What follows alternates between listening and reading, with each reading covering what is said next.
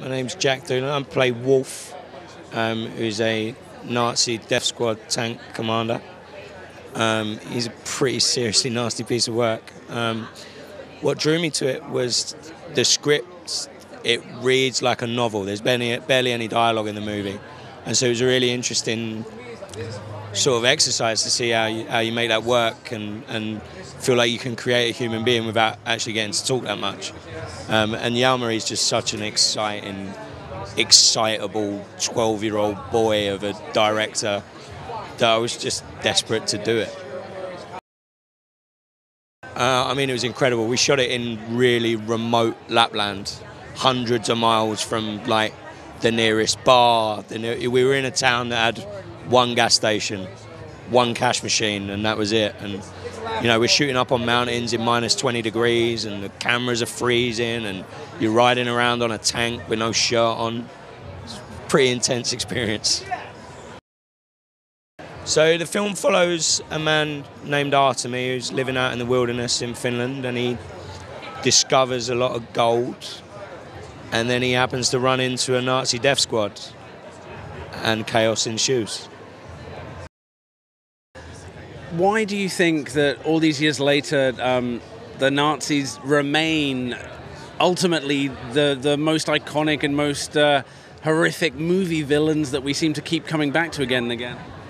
Because they're the embodiment of pure evil. We haven't seen anything before or anything since. That it's just so black and white. It's so clear that what they did was evil. And obviously, we're at the exact opposite of that here at TIFF. Um, can you talk about what it means for you and the rest of the team to be part of this beautiful festival? Yeah, I mean, it's so exciting to be here. I actually spent most of the year last year in Toronto working, um, so it's really great to be back because I adore the city. The, you know, all the cliches about Canadians are true. They're the nicest people on the planet, and it's a beautiful festival in beautiful theatres. It's just stunning.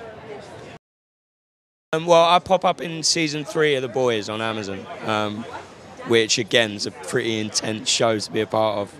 So yeah, I've had some wild rides the last couple of years. I mean, nothing gets wilder than the boys. Can you talk about what it means to be part of that unique, warped vision of a show? Well, I mean, Eric Kripke's got to be one of the cleverest showrunners out there, and you know the satire and the layers he brings to that. I mean, it was especially exciting for me to be a part of the boys because I actually grew up in London, walking down to Forbidden Planet and queuing up for the new editions. So like, I was a fanboy anyway. So like to be a part of it and to get to come here and do it, dream come true.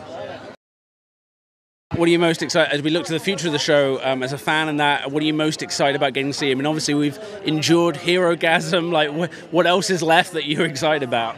Well, I think what Eric's done with just that slight smirk at the end with Ryan, I think that's going to open up an incredibly um, interesting sort of uh, dissection of fathers and sons. You know, everyone's got a complicated relationship with their father. To then throw it into the world of the boys, I think that's just going to be really sublime.